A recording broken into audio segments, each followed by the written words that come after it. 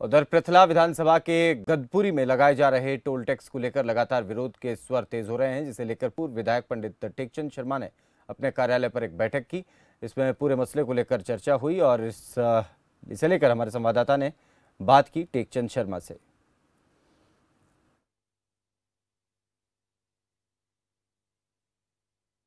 Gadpuri toll का मुद्दा लगातार गर्मा रहा है और इसी को लेकर के आज पूर्व विधायक पंडित टेकचंद शर्मा के कार्यालय पर सर्वदलीय जो है, वो बैठक की गई है और उस बैठक में क्या कुछ फैसला लिया गया है उसको लेकर के हम बात करेंगे। हमारे साथ मौजूद है प्रतला से पूर्व विधायक पंडित टेकचंद शर्मा जी। शर्मा जी, जिस तरीके से आज बैठक की गई है, इस बैठक में क्या कुछ फैसला लिया गया है? आने वाली रणनीति क्या कुछ रहने वाली है? आज इस बैठक में मुख्य मुख्य कार्यकर्ता हमने बुलाए थे यहाँ पे। और मुख्य मुख्य कार्यकर्ताओं के साथ एक पृथला क्षेत्र की एक जो समस्या होने जा रही है, पृथला हमारा दो भागों में बंटने के साथ साथ यहाँ पे एक टोल गदपुरी में लगने जा रहा है पंद्रह अप्रैल से। मैं आपको बताना चाहता हूँ कि सर्वसम्मति से फैसला लिया गया है कि आने वाली चौदह तारीख को गदपुरी टोल प्लाजा पर एक सर्वदलीय महापंचायत बुलाई जाएगी, जिसमें सभी दलों के नेताओं को बुलाया जाएगा।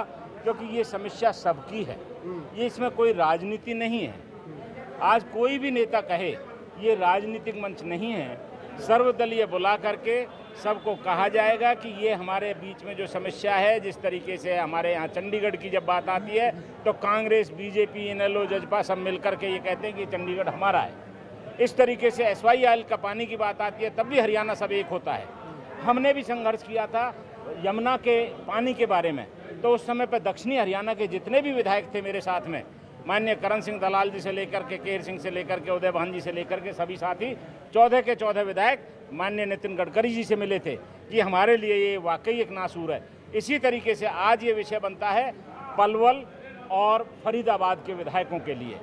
उनसे मैं अपील करूँगा कि वो सभी आकर के इसमें अपने अपने विचार भी रखें, सहयोग भी दें और इस लड़ाई को सामूहिक रूप से लड़ें। तो क्या ये माने कि आपकी तरफ़ से सबको ही निमंत्रण दिया जाएगा, चाहे वो पक्ष का हो, विपक्ष का हो, चाहे किसी भी पार्टी से संबंधित हो? बिल्कुल, हम इस चीज़ में कोई दो राय नहीं है। ये मेरा निजी मैटर नहीं है। ये इलाके की लड़ाई है।